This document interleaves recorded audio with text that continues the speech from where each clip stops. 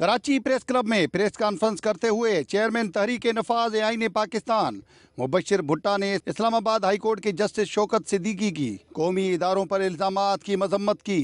جس شوکت صدیقی صاحب نے جو ایک وکلا سے خطاب کیا اور اس کے بعد جو ہے انہوں نے جس قسم کے ہمارے عدلیہ پر اور افواج پاکستان پر، آئی ایس آئی پر اور ملکی اداروں پر بے بنیاد غیر قانونی غیر آئینی الزامات لگائے اور جس کا فیصلہ جس کا فائدہ صرف صرف ملک دشمن قوتوں کو ہوا ہے۔ ہم اس کی تمام تنظیموں کی طرف سے اس کی شدید مذمت کرتے ہیں۔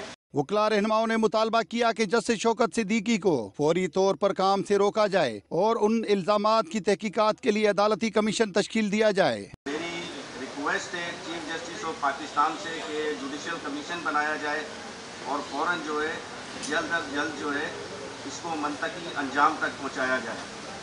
اور چیف جسٹس آف پاکستان جناب جسٹس ثاقب نثار سے میری ایک اور ریکویسٹ ہے کہ جسٹس شوکت عزیز صدیقی صاحب کو فوراً جو ہے وہ اپنے کام سے روکا جائے۔ وکلا رہنما افضل روشن ایڈوکیٹ کا کہنا تھا کہ ملکی ادارے آئینی دائرے میں رہ کر کام کر رہے ہیں۔ شوکت صدیقی کے الزامات پر chief justice supreme court Saqib Nisar کے اقدام کو سراہتے ہیں۔ کیمرہ مین وجاہت کے ساتھ حمید سومرو جا کراچی۔